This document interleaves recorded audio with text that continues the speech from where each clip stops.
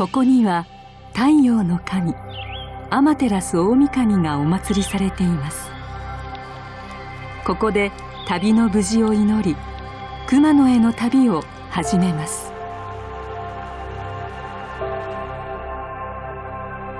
伊勢路は伊勢から熊野までおよそ170キロ。峠をいくつも越え海を行く巡礼の道です。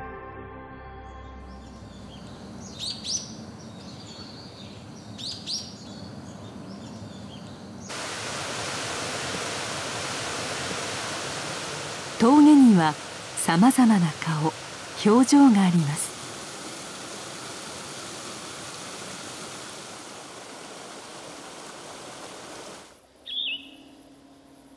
自然の石を敷いた石畳は激しい気象の変化から鼓動を守ってきました。そしてここには古の人が見た景色が心洗う静寂が日本の原風景があります。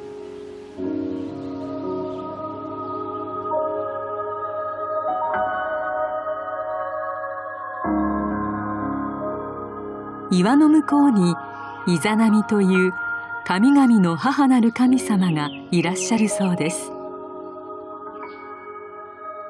神様から幸をいただきたい。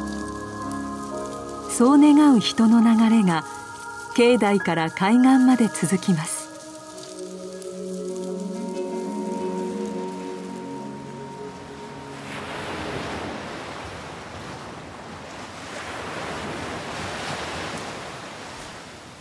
最後は海を歩きます。